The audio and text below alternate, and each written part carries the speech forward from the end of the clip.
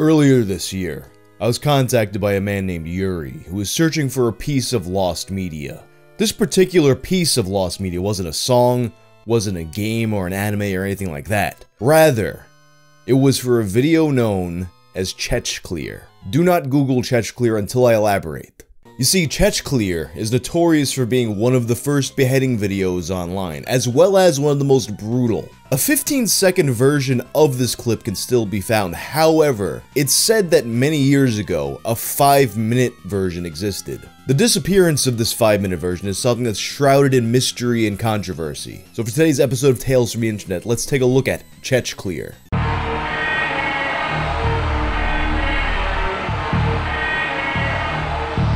I know that, like me, you probably spend a lot of your time in front of screens all day long, playing video games, browsing stuff online, watching my videos, or just sitting around at work. And the thing is, all these screens emit blue light which can cause eye strain, itchy eyes, headaches, and completely throw off your sleep schedule. I mean, my sleep schedule has been all over the place since I got back home from tour, and I have a few ideas about why that might be. GMG Performance eyeglasses are the solution. They act as a shield against the blue light and help reduce your eye strain and preserve the quality of your sleep.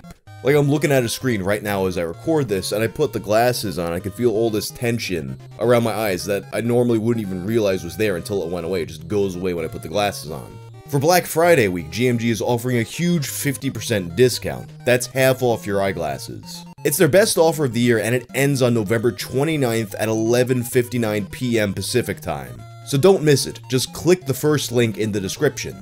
For people who grew up during a certain period of time online, looking at gore, particularly beheading videos, was looked at as almost kind of a rite of passage. And of all the violence I've seen online on websites like Ogrish, Best Gore, LiveLeak, or for that matter, the countless other websites that came and went. There's only really a small handful of videos that really vividly stayed with me on my memories throughout the years. And one that stands out is one of the first ones that I ever saw. You got a man on the ground with a boot on his head. Very quickly, a knife gets inserted into the side of his neck and cuts forward through the front of it. And as the knife cuts through the man's windpipe, you can hear the sound of air whistling through it. Oh, It's a sound that haunts me to this day, and if you've seen this same video, it's probably one that haunts you too. And until Yuri contacted me about this video, I didn't even know that there is a name for it or that it was as infamous as it actually is. The video called Chech Clear. As Yuri described Chech Clear to me, I had to ask him, wait, is this the one where after the guy gets beheaded you can hear wind coming through his throat? That's the one. I never thought I'd see or hear about this video ever again. In fact, not too long before Yuri had contacted me, I was actually trying to find it again myself just to see if it was as bad as I remembered, and I couldn't find it. As it turns out, Yuri informed me that the 15 second clip can actually be viewed on YouTube as part of a Russian documentary covering the atrocities of the conflicts between Russia and Chechen rebels. The thing is though, this clip, it's short. It's grainy and 15 seconds long, and in the middle of the beheading there's a jump cut when all of a sudden his head's not on anymore. And if you search for this clip, you're just going to find the edited version from this documentary. Just by looking at the clip, you can tell there's more to the video than the 15 seconds we actually see. And according to Yuri, there was actually a full 5 minute long clip. Not just including what we missed during the jump cut, but several minutes beforehand of the victim being beaten and berated and embarrassed. It turns out that a lot of people, especially recently, have been searching for this notorious extended cut. But the search for it can actually get really confusing. You see, throughout the First and Second Chechen War, many, many execution videos were made. Russian soldiers would find these tapes left behind, presumably as an intimidation tactic. But then you know these tapes make it out into the rest of the world, they get sold on the black market as snuff films, and eventually through that, they make their way online. This particular clip takes place in 1996 during the first Chechen conflict. Afterwards, it finds its way into file sharing services, it's getting spread through emails, and of course it winds up places like Ogrish.com and LiveLeak. But you wind up with a situation now where you have this thing from Russia that winds up in the English speaking world, and you have people who don't speak Russian trying to make sense of it, trying to figure out where the pieces fit. And an environment like that is ripe for confusion and misinformation to spread. And as such, a lot of these videos get confused with each other. And they get mislabeled as various events that happened at the time. For example, one of the most common stories that this gets mixed up with is the story of Yevgeny Rodionov. So Yevgeny Rodionov was a 19-year-old soldier who was executed after several months of being tortured in 1996 during the First Chechen War. Reportedly, he was offered to have his life spared if he renounced Christianity and converted to Islam, but he refused. He wouldn't even remove his cross, leading to his execution. The story of his death led to a push to venerate Yevgeny as a new martyr, but the Russian Orthodox Church made the controversial decision to deny this due to a lack of evidence of the story and an unwillingness to canonize new martyrs. And where this ties in is one of the most popular supposed explanations for Chechclear is that the victim is Yevgeny. However, this does not appear to be a case as by all accounts Yevgeny's death was not recorded. I think it's possible that perhaps Yevgeny's popularity led to him being used to promote either this film or any number of the snuff films that were circulating at the time. Or perhaps it's just the case of someone hearing Yevgeny's story and assuming that's him.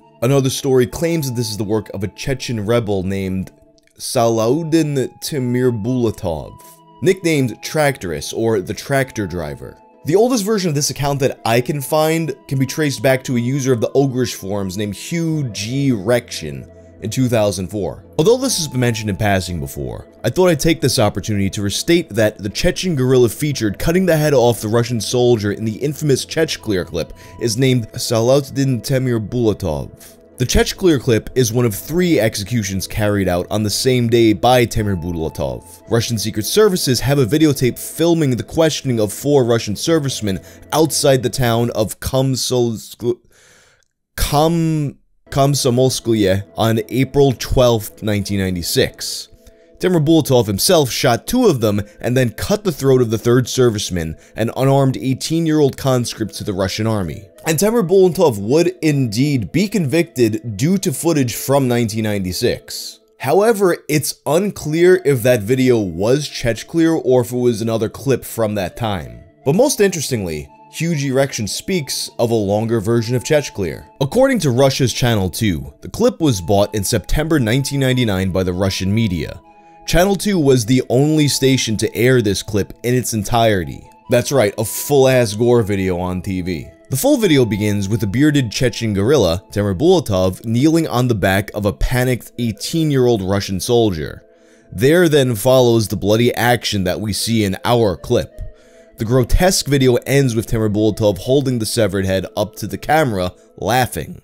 And thus, the uncut version of Chechclear becomes legend. Granted, this description is a bit different from the one that I've heard, but at this point, nobody has any extended version of it. Enter a LiveLeak user named Warlord47. Warlord47 was a Russian man, by some accounts a Russian soldier, who joined LiveLeak in July of 2007. Within a month, he began digitizing his personal collection of VHS snuff films from the Chechen conflict and uploading them to LiveLeak. One such tape being another incident that's often confused with Chechclear, the execution of six Russian conscripts in Dagestan, aka the Tukhchar massacre. He uploads the video in five parts, and here's the thing. This footage has been seen online before, but it's never been seen in this high quality. A YouTube video by Joshua Kane compares the quality of Warlord 47's videos with the previously available versions, and the jump is massive. This guy was definitely the real deal. So when in the descriptions of these videos, Warlord 47 claims to have the full version of Chech Clear, that's kind of a big deal. But of course, there's a problem. Although all of this message board discourse is as far as I know lost to time, according to Joshua Kane's video, based on his own memories, Warlord 47 was a little ass blasted that he wasn't getting the respect that he thought he deserved. Having taken the time to sit there and digitize his VHS snuff films, upload them to LiveLeak, surely he deserved more kudos. But the story as it goes is that eventually, despite the lack of respect, he does upload the full clip to LiveLeak, only for it to get taken down within hours due to a copyright issue. An archive of a thread on the LiveLeak forums from January 28, 2008 allegedly documents the day this happens. Why was my Chechnya video deleted? Why was this video deleted? There's absolutely no reason for that video to be deleted. Copyright violations? Who are you trying to lie to? And then people ask me, why don't I upload anything on here anymore? When you have mods that abuse their powers, delete random media for no reason, it just isn't worth the effort.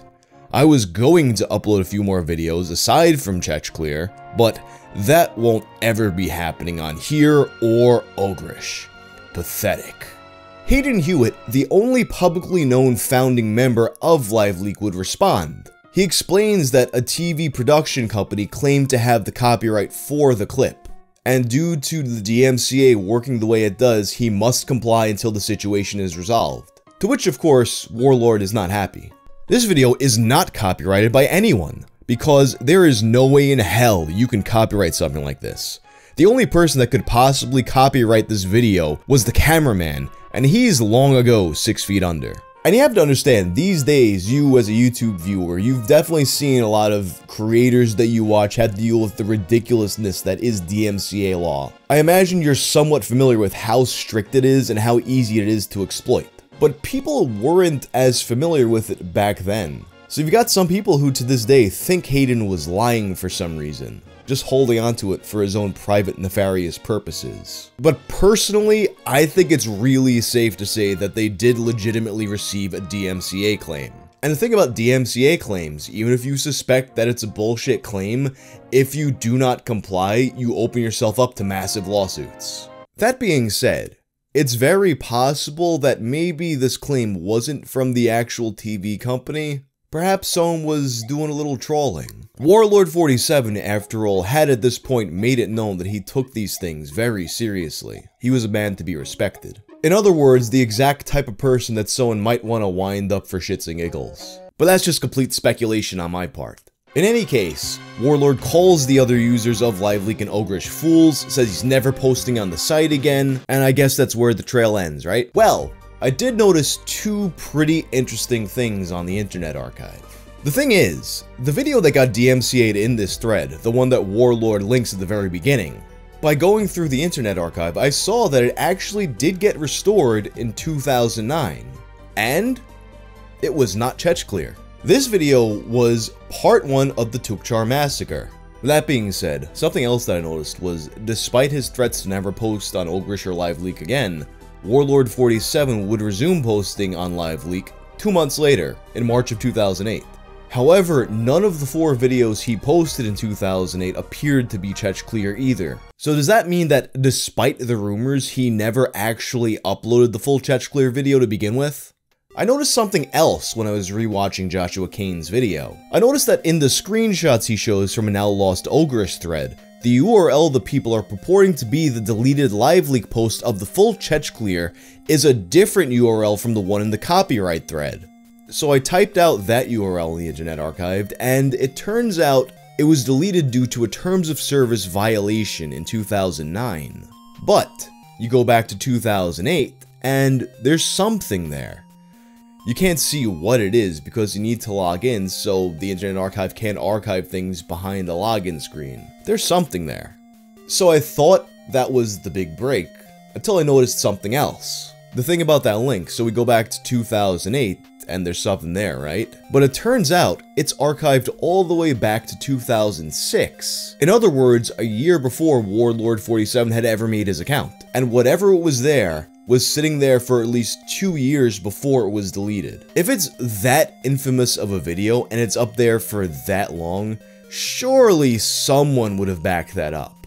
Surely it would just be all over the place to find immediately. In other words, I don't think that other link was Chechclear either. So at this point, if the 5 minute long version of Chechclear is a thing that really ever existed, I have my doubts that it ever actually found its way online. I also think it's very possible that the extended version of Chechclear might have been another case of people mixing up multiple incidents in Chechnya.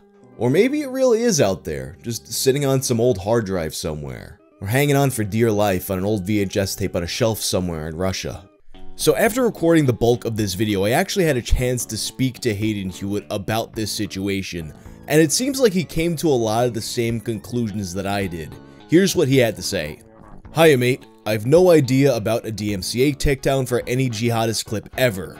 The longer version of Chech Clear is a Bigfoot really. I've heard tales, heard from someone who claimed to have it, but through Ogrish and LiveLeak it never came up. I'm sure a longer version existed, but I have an inkling it died with the video camera that filmed it given the clip came out back in the days when all clips online were very short. Sometimes people got it mixed up with another clip, which I think was called OFEX, but the two weren't related in any way other than it was Chechens killing Russian soldiers. I'd love to know where the idea came from about the DMCA, there are some funny folks on the internet. He also noted though that 2008 is a long time ago, so he checked in with one of the other staff members from back in the days who did remember the claim. You're kind of vaguely in luck, just had a message back. One series he uploaded included parts from a TV documentary about a massacre of Russian troops called the Dagestan Massacre, which might explain the more graphic vids in his series remaining. I remember that series of videos being truly horrific. And his final thoughts on the matter? The only thing I know for sure is that a longer Chechclear didn't ever show up. Anyway, that's the story of Chechclear. If you like this video, check out my video about the time Ogrish helped put a cat killer behind bars. I'm out.